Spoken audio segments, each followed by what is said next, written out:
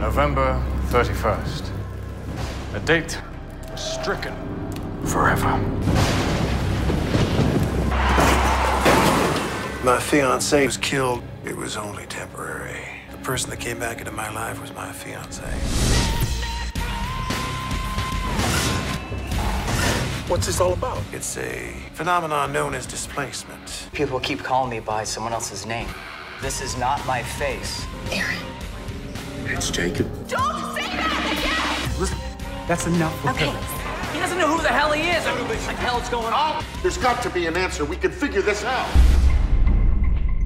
It starts with a date, the 31st of November to be precise. We'll just stop it. What's done is done. Who do you think they're gonna believe? Me? Or you?